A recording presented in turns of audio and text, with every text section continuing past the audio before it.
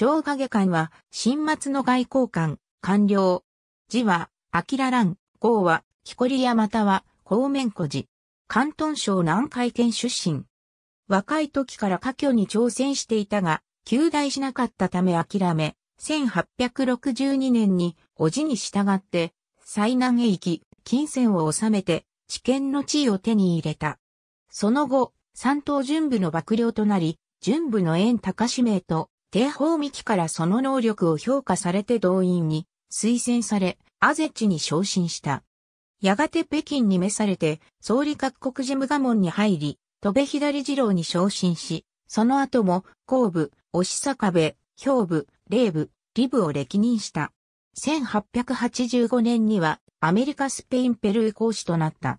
在任中は、家境の労働者の問題について協議している。土屋光一、受け和紙談判の図1895年2月に、広島県庁で行われた受け和交渉を描いたもの。1895年、日清戦争で北洋艦隊が惨敗したため、新国朝廷は講和のために、戸部左次郎であった長影官と湖南準部、小遊連を全権大使として派遣した。しかし全権委任上の不備のために、広島での交渉を拒絶され、結局李交渉とその養子の李慶法と交代することになった。なお、交代した李交渉、李慶法は下関条約を調印している。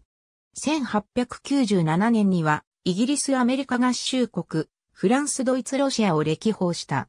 1898年3月には北京市で調印された旅順、大連咀嚼に関する老清条約の自責全権委員を務めた。超影官は返報運動を支持しており、皇位とも親密であったため、後日の政変後、新教省へ流罪となった。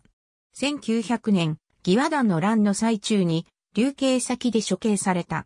ありがとうございます。